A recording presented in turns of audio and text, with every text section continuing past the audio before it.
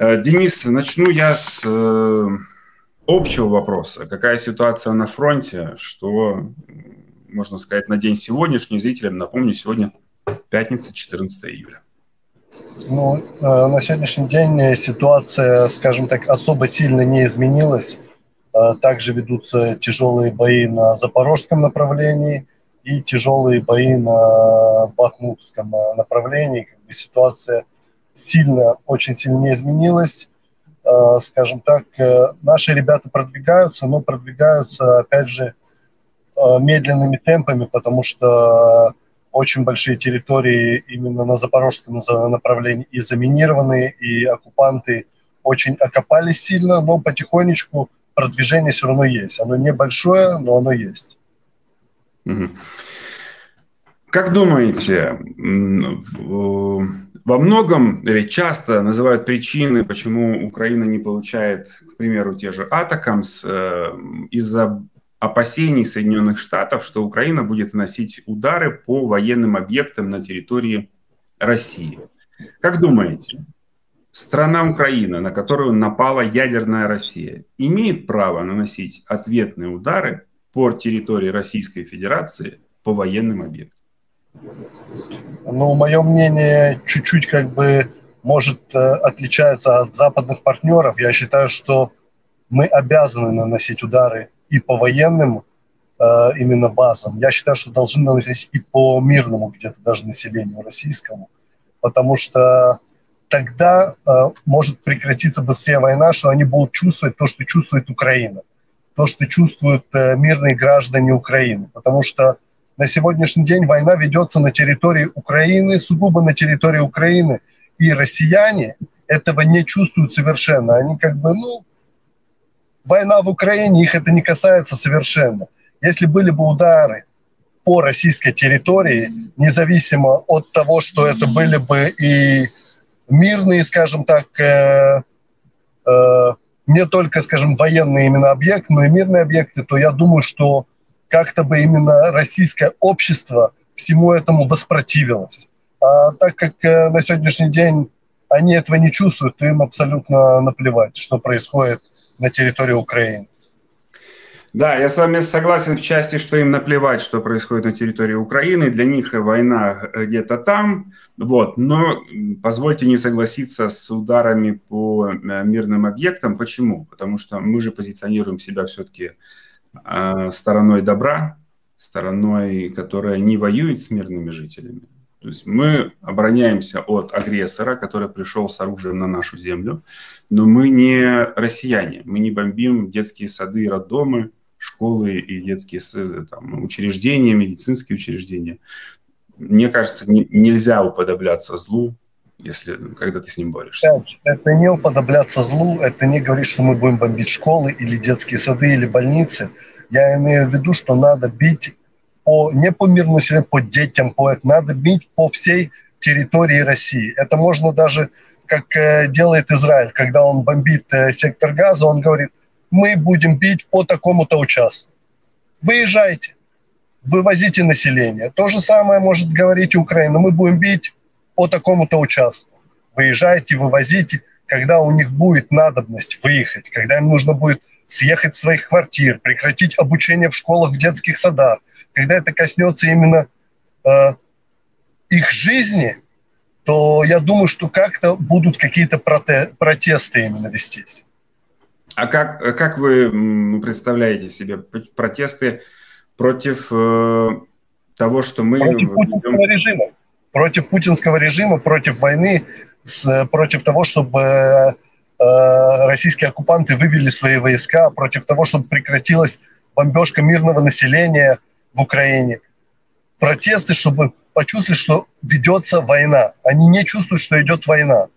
Они чувствуют, что да, идет какая-то спецоперация военная на территории Украины, но не ведется полномасштабная война с уничтожением мирного населения, с уничтожением Э, большого количества граждан, большого количества военных и уничтожения целого народа. Да, потому что война идет на нашей территории, конечно. Вы сказали, что ваша позиция разнится с позицией западных партнеров. А как думаете, почему у наших западных партнеров такая позиция?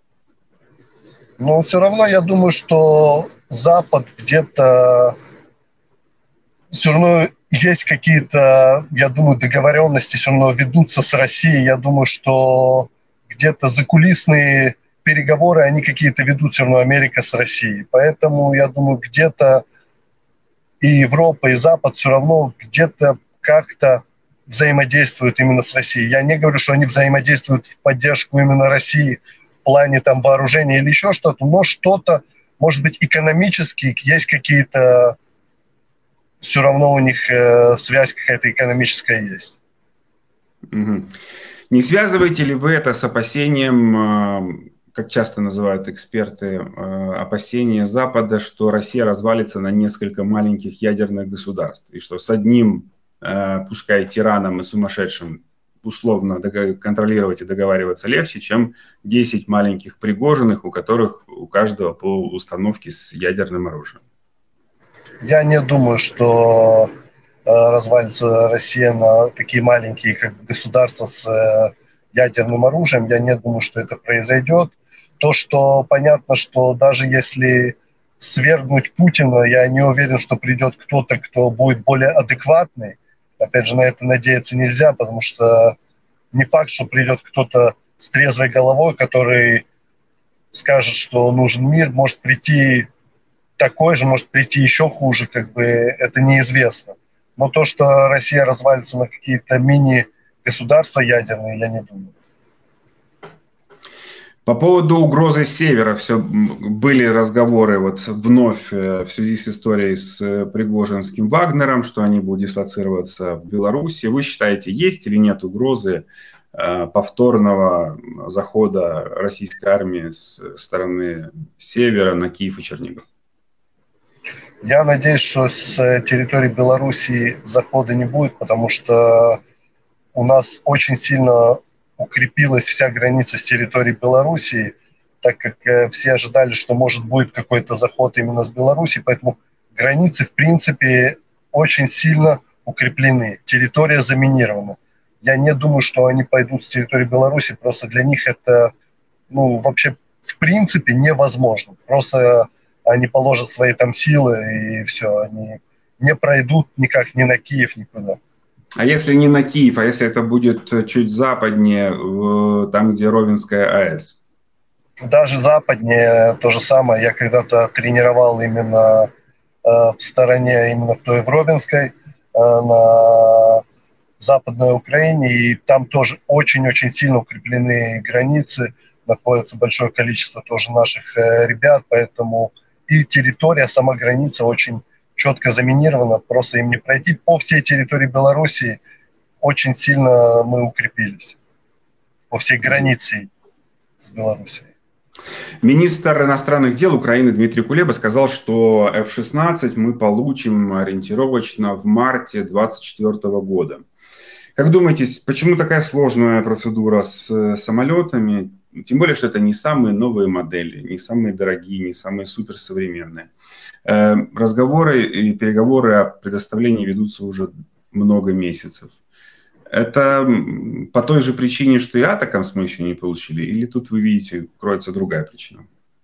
Если честно, я не могу назвать даже причину, я сам ее не понимаю, потому что, в принципе, они как бы затягивают, это бюрократическая система, которая просто затягивает нам э, поставки самолетов, э, и как вы правильно сказали, что это не новые модели. Э, это уже, в принципе, некоторые из них даже утилизированы, просто стоят еще на вооружении. И я не понимаю, почему нам так долго тянут с передачи самолетов, когда они бы очень помогли нам в нашей победе, потому что ну, самолеты просто изменили бы, скажем так, ход войны. И это затягивание мне просто непонятно. Каждый раз они затягивают еще и еще. То когда-то говорили к концу лета, теперь уже еще позже, потом еще позже. Сейчас обучение пилотов. Я уверен, что наши бы ребята обучились бы технике буквально за считанные месяцы, а из этого делают такой э, прям, э, не знаю, короче, рассказ, что чуть ли там, не знаю, обучиться вождению всему, чему только возможно. Поэтому мне непонятен до сих пор э, этот вопрос, почему так затягивают э, с передачи самолетов. Ну, тут надо тоже покопаться глубже в чем, что американцы же прекрасно понимают, что без самолетов нам войну закончить, если не невозможно, то очень сложно. Очень сложно, и, да. И, и пролонгируя, значит, э, перенося каждый раз возможную дату передачи нам самолетов, тем самым они продлевают э, срок, сроки войны. Опять же, почему? Какие опасения у Соединенных Штатов? И мы благодарны нашим западным партнерам, если мы сейчас про Штаты говорим, Соединенным Штатам, за каждый доллар, за каждую единицу техники, безусловно. Но согласитесь, если бы Штаты хотели, чтобы Украина победила быстрее, то F-16 были бы уже на нашей территории, атакамсы были бы уже на нашей территории. Почему-то это не происходит. Мы, безусловно, благодарны, но хочется понять, почему нам не дают, э, слава богу, проиграть, но и не дают таких мощностей, чтобы мы победили сейчас. Не дадут, не дают именно победу, чтобы она была быстрее. Как я уже говорю, есть где-то какие-то, может, экономические договоренности. Это все понятно, что война – это деньги, и для Запада это тоже большие деньги. Поставки оружия, что Украина является для Запада своеобразным где-то полигоном, и где-то показывают оружие какое что для этого в Европе смотрят, скажем, на какое вооружение поставлено, делают те же самые закупки у Америки. Это все понятно, что это деньги, но никого не волнует, что страдают, опять же, мирные люди, что страдают солдаты, что много погибших очень, и это никого не волнует, и поэтому где-то затягивается война. Все это крутится вокруг денег. Все это понимают, что это денежный вопрос, и затягивание войны – Э, тому же Западу где-то это выгодно. Они понимают, что да, Украина победит и могла бы победить еще быстрее, но опять же, выделение где-то какого-то бюджета, опять же, где-то поставок какого-то вооружения, чтобы посмотрели, какое вооружение есть, и потом э, заказали это вооружение у производства, опять же, у Америки, те же страны Евросоюза. Э, возвращаясь к вопросу F-16, кстати, я вспомнил заявление министра иностранных дел России Лаврова, который сказал, что они будут считать э, передачу Украине F-16 ядерной угрозой для России, поскольку якобы к F-16 можно какую-то там подножку значит, э, присоединить, к которой крепится в теории ядерное оружие. Поэтому они вот будут считать, что это значит ядерная угроза для России. Но мне кажется, что ну, мир, который сейчас на стороне добра и противостоит э, абсолютному злу в лице Путина, Кремля и России в целом, э, должен понимать, что ну, это всего лишь причины, которые называет Путин, Лавров или кто-то. Они давно уже перешли все красные линии они уже давно не смотрят на какие-то выполнения и невыполнения условий. Они придумывают якобы свои какие-то правила, по которым они захватывают территории, вносят их в свою конституцию, называют это своей исконно русской землей, угрожают э, значит, ядерным оружием. Медведев сидит каждый через день, пишет сообщение о превентивном ударе по Польше и другим странам Европы. И вот Михаил Подоляк недавно сказал хорошую мысль, что э, если мир боится Третьей мировой войны с Россией, то а с кем, с кем воевать, ну, если они Бахмут 9 месяцев за, за, завоевывали, то весь мир, какой Третьей мировой боится? С кем? С тем, кто не может он там Бахмут завоевать. Поэтому непонятное опасения мира, если они в разряде не экономической плоскости, а в разряде безопасном, безопасности или ядерного стратегического оружия, шахты, которые направлены на Лондон, Париж, Вашингтон, Брюссель. Может быть, из-за этого, может, мир боится не просто войны, а большой ядерной войны, которая ну, приведет к фатальным последствиям. Я считаю, что если бы мир, скажем так, э, сплотился или бы Украину взяли в НАТО и полностью НАТО, скажем так, вступила в полномасштабную войну с Россией, я считаю, что Россия не выстояла бы от такого удара, и я думаю, что война закончилась бы, ну, я думаю, что в ближайший месяц, и никакого ядерного удара, я не думаю, что он бы произошел. Тем более мы не знаем даже, какое состояние ядерного оружия в России и в каком состоянии эти шахты, что оно может ужасно все и запущено, может это просто как больше как блеф, поэтому я не думаю, что был бы какой-то ядерный удар. Я думаю, что у стран НАТО ядерное вооружение в более, скажем, надлежащем состоянии находится, чем российское вооружение.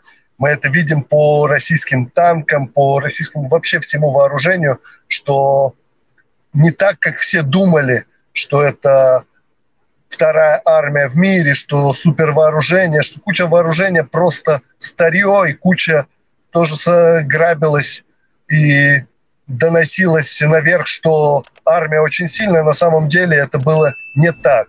Не обученные солдаты, э, техника в непригодности. То же самое может быть и с ядерным вооружением, что все эти шахты в ненадлежащем состоянии.